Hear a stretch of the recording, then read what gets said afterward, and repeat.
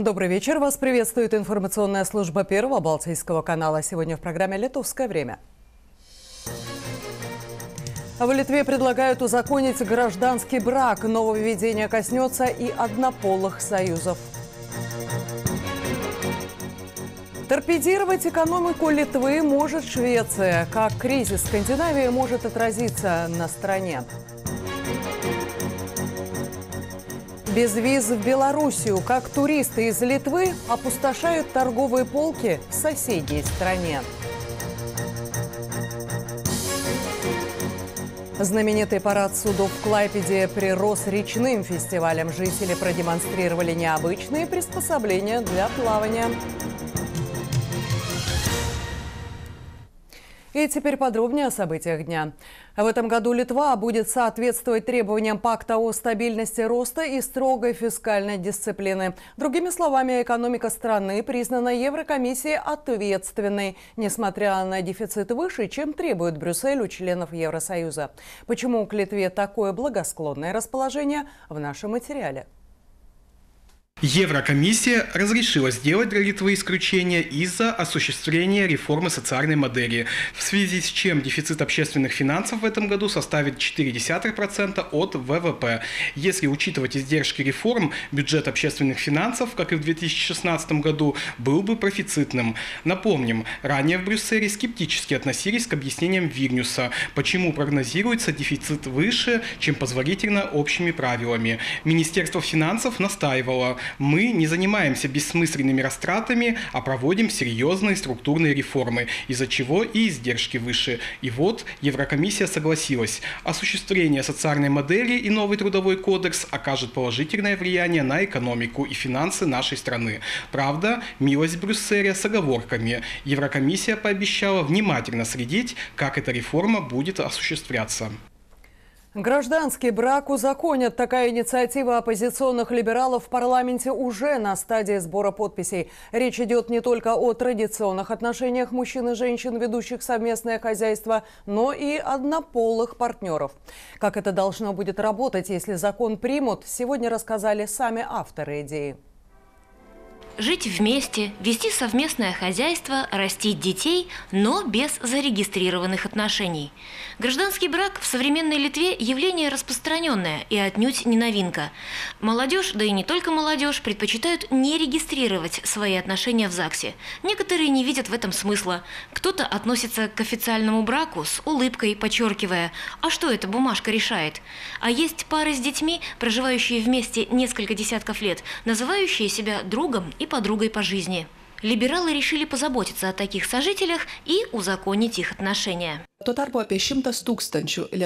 Около 100 тысяч пар, проживающих в Литве, живут в партнерских отношениях. Каждый третий ребенок рождается вне брака. Мы замечаем, что в последнее время число таких сожителей растет. Поэтому предлагаем узаконить партнерские отношения. Отмечу, что этот проект не дискриминирующий.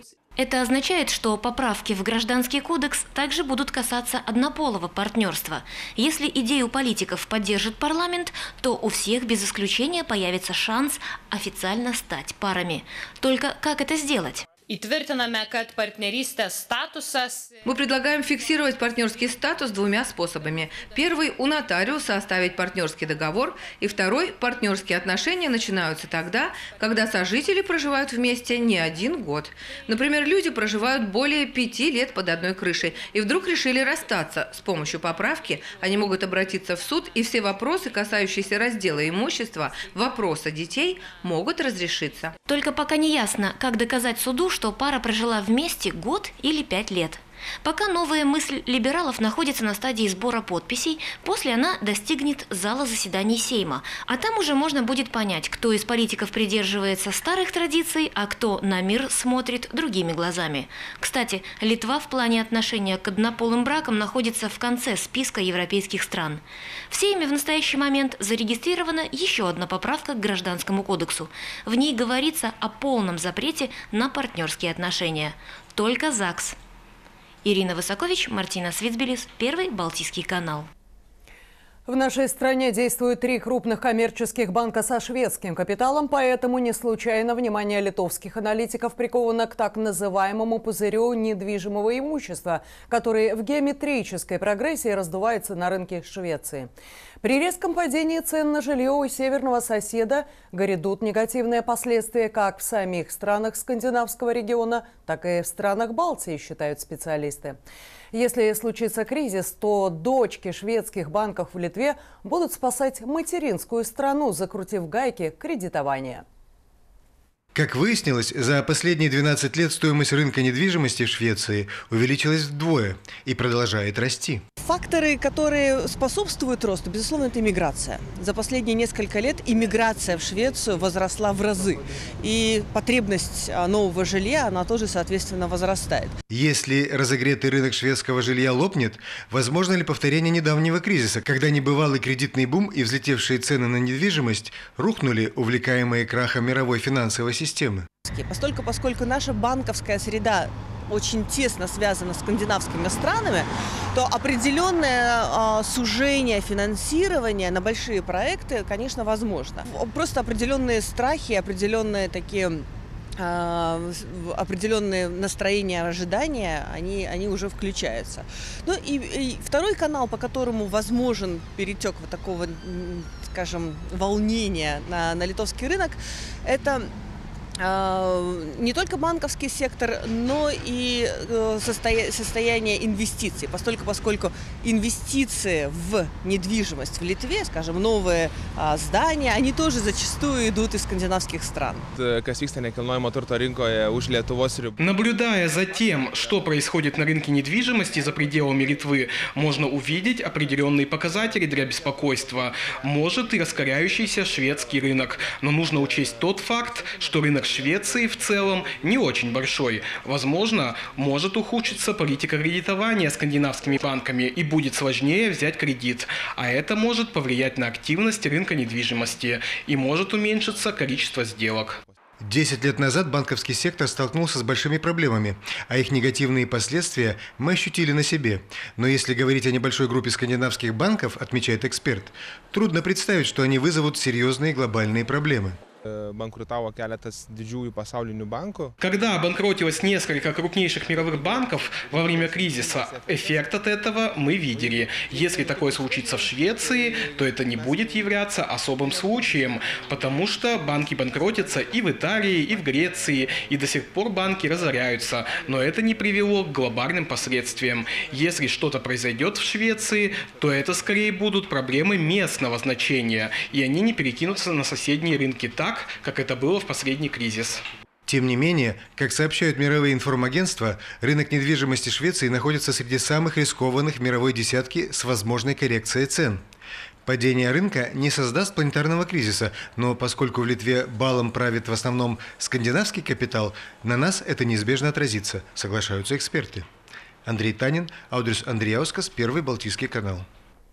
Безвизовый режим в районе Гродно и Августовского канала действует с октября прошлого года. Он был введен для привлечения в Западную Беларусь польских и литовских туристов. К началу нынешнего сезона поток автобусных туров действительно наладился, однако большинство интересуется не памятниками старины, а магазинами. В Гродно без визы. Такую услугу уже освоили многие туроператоры по обе стороны от границы. Так называемый ваучер плюс страховка обходятся от 5 до 15 евро. Группе дешевле. И обязательно список экскурсий. По нему турист узнает, что посмотреть в старом городе. Вплоть до перечня фирменных магазинов. Очень практично. На все формальности сутки. Час-другой на границе, и турист потянулся в такую близкую и далекую Белоруссию. По автомобилям это заметно, да, что появляется автомобилей много, да, с литовскими номерами. Больше их я вижу на улице Советской, я чуть определяю литовский язык, э, да. И также в, в огромных центрах они вот здесь в Ултите находятся, либо Алми, который также есть в городе Гродно. Для супермаркетов шопинг-туры как палочка-выручалочка. Откуда знает турист, что сколько стоит в других местах? Ищут товар по знакомым с детства названиям, чьим-то рекомендациям и просто из любопытства берут на пробу. В большинстве магазинов учли запросы туристов и увеличили ассортимент востребованных товаров. Молочная продукция интересует, алкоголь интересует, э, слабый алкоголь, пиво, в основном там лидское пиво. Э, белорусская косметика, белита их очень, им нравится качество белита, и все время. Мы даже э, отдельные такие отделы сделали, э, чтобы они быстренько увидели э, ну, какой-то белорусского производителя и сделали максимально быстро свой выбор, потому что у них э, время ограничено. Время в таком шопинг-туре действительно на вес золота. Выехав затемно, нужно успеть обижать фирменные магазины плюс продуктовый, а после обеда домой, чтобы не тратиться на ночлег.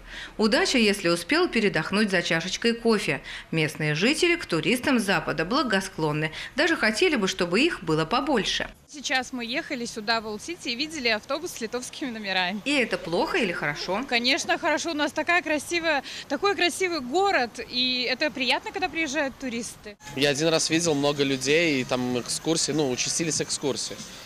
Это плохо или хорошо? Вам не мешает?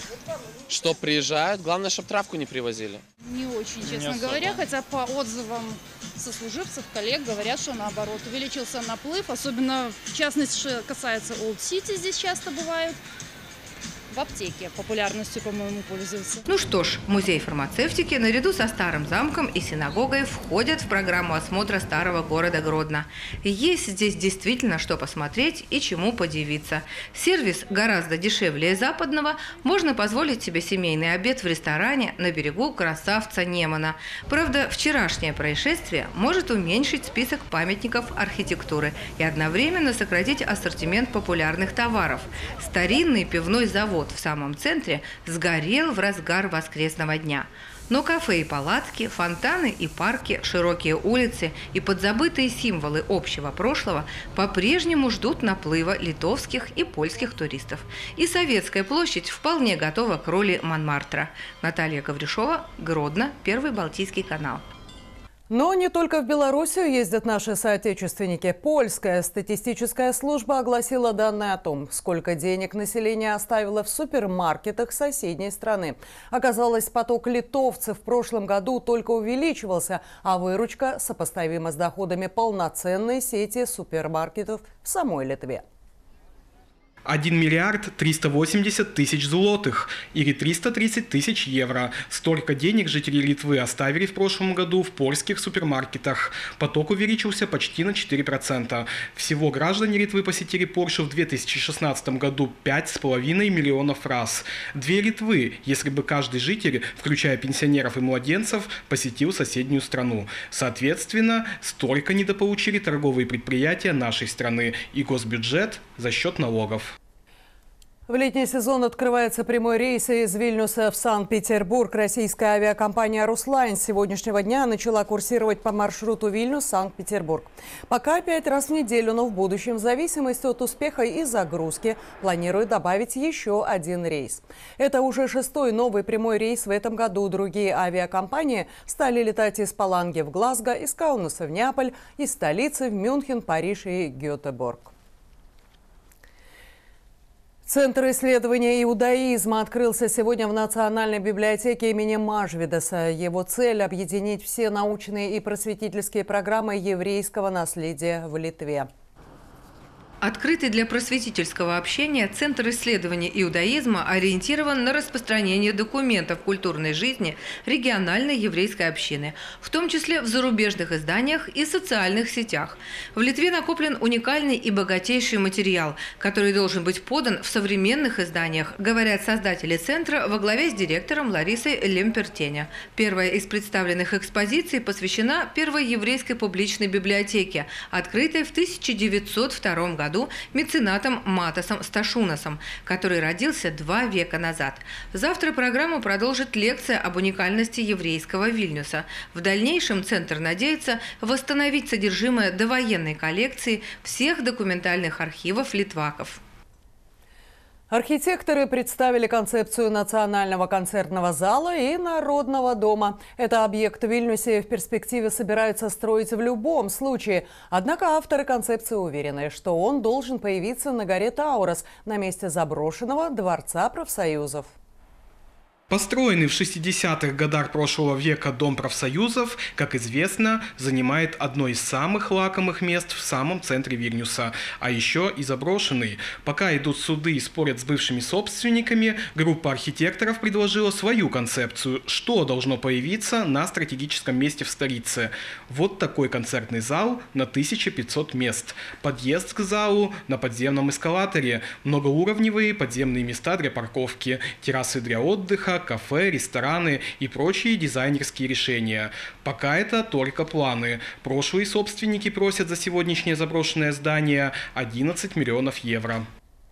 И последнее на сегодня. Сразу несколько крупных мероприятий на взморье дали старт летнему сезону. Тысячи клайпечан участвовали в благотворительном марафоне. Стартовал проект «Историческими путями Клайпеды». Поздравить жителей с приближающимся летом вышли даже корабли. Клайпеда – единственный морской порт Литвы, поэтому такие мероприятия возможны только тут. Парад судов проводится уже восьмой год подряд. Цель мероприятия – показать единство человека и моря, моряков и людей, трудящихся на берегу. Ну и, конечно, просто развлечься. В этом году организаторы мероприятия решили, что ограничиваться морскими кораблями и яхтами не стоит. Участвовать в собственном речном параде смогли все желающие и на любых плавательных средствах. Расширить территорию этого праздника и проводить парад не только на заливе, но и на реке было давней нашей мечтой. И вот она совершилась. Около ста плавательных средств, лодки, шлюпки, каноэ, плоты, плавательные доски прошли в своем параде. Это нравится публике и, надеюсь, в следующем году речной парад будет более красочным. На празднике нашлось место для всех. Любители прошлого на специальных экскурсиях смогли познакомиться со страницами истории портового города. Музыканты делились своим творчеством прямо на улицах. Ну а дети смогли почувствовать себя капитанами собственных кораблей. Кульминацией же праздника стал ночной парад судов. Он начался с танца портовых тягачей. После этого представления около 50 больших и малых кораблей на радость публики в лучах закатного солнца прошлись до ворот порта. Завершился парад праздник праздничным фейерверком.